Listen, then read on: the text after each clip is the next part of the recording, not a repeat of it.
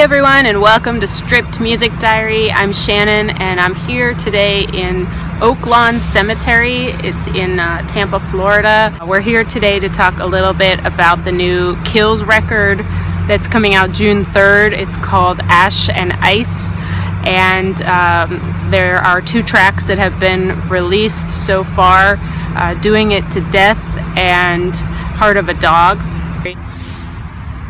Okay, so sorry for that. Um, the other corner of the cemetery is where all the buses must come in. Um, so we're here in Oaklawn Cemetery. It's in downtown Tampa. It's within walking distance to Amalie Arena. It's where all the biggest concerts would happen here in Tampa, um, like The Weeknd and you know Beyonce and that sort of thing. So um, it's just kind of interesting that something like this exists mere blocks away from you know such heavy commerce.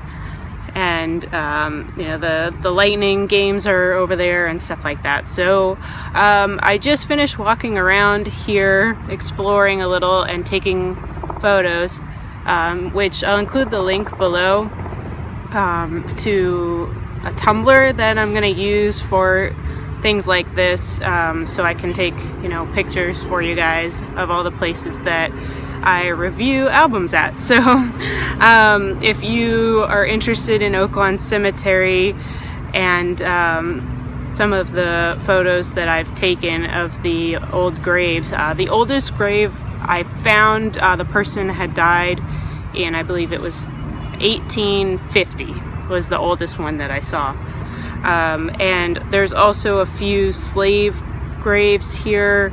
Um, where the name is not known. It just says a slave on the gravestone.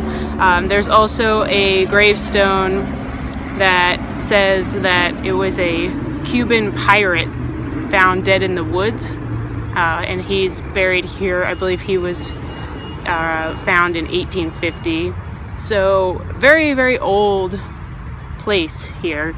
A lot of the gravestones are broken um, and a lot of the you know, maintenance on the actual headstone is really not there at all. It's basically um, kept up here as far as like the landscaping goes. It's really nice, but the fences are falling down, a lot of broken gravestones, um, and a lot of the headstones are not legible. So um, the newest stones I found were um, the person had died in 2003 and it seemed like a family. There was a gravestone next to it where the person had not passed away yet. So, you know, they have the uh, empty um, space or blank space where they died. So I assumed it was maybe like one of those pre-purchased things. So anyway, um, if you've seen the video for Doing It to Death, they're in a graveyard in LA. Uh, the kills are made up of Allison Mosshart and Jamie Hince. Uh, Allison Mosshart is a American lady and she's actually from Florida so um, that kind of uh, resonates with me a little bit because she used to be in a band called Discount from Gainesville, Florida. And in order to kind of um, separate herself from that band, uh, when she started making music with Jamie Hince, she took on a name, I think it was VV, and he took on the name Hotel. They um, kind of came around 2005, 2006 era on the scene. Um, they're very rock and roll with a, some like swamp blues style in there, like a little PJ Harvey style uh, guitars and kind of foot stomping blues. So um, being in an old, you know, Florida swampy cemetery here with all this hanging Spanish moss, it seemed appropriate. Um, I try to give you a backstory or go somewhere relevant when I'm filming these videos. It's not always going to happen and um, it's very very hot already so I can't imagine I will um, go to a lot of really sunny places to review these uh, things, you know, throughout the summer, but we'll see. I'm going to try my best to make them relevant. I feel like this is the most relevant one yet. So anyway, um, The Kills haven't released an album in a few years. Uh, Allison Mosshart, if you didn't know, she's in, or she was in the band The Dead Weather with Jack White and um, dude from the Queens of the Stone Age. So uh, she was doing that for a while and now they're back. Um, I read an interview that she said that this album is going to be super different from anything the Kills have done before, but to be quite honest, I'm not really sold on that yet. Um, I love it. I'm obsessed with doing it to death. It's a great foot stomping track. Um, it's it's really dancey. It's awesome, and it's super like sneering in your face, snarky rock and roll.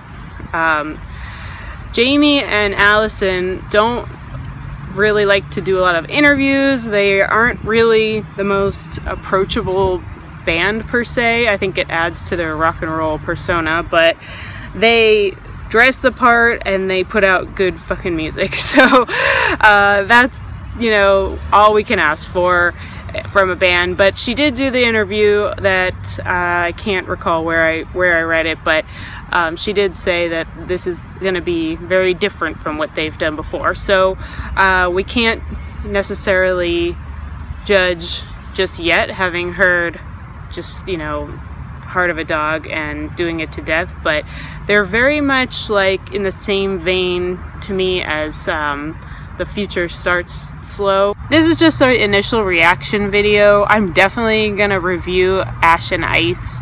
Um, I really just wanted to um, throw it out there that I'm really interested to see if they go down the path of that blues uh, influence that they ha have always kind of had. We'll see if they kind of go down that path again.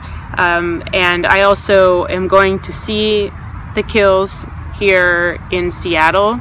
Not here, but I'm going to see the kills in Seattle uh, because I'm going there in a few weeks. So um, I'm just really, really interested to see how they've evolved since I saw them back in, I believe it was around 2006. Um, and I drove to Atlanta to see Cold Cave, and Cold Cave were opening for, and I only watched a little bit of the set. I didn't really know who they were.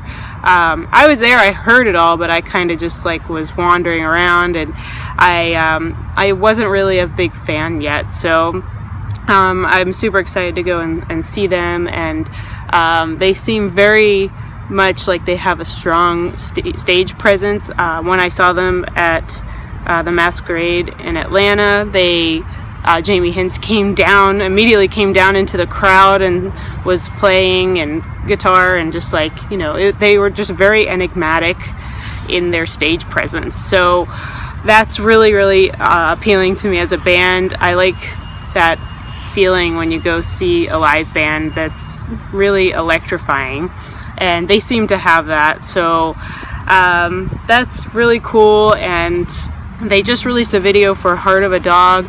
They're very like very much about their LA culture.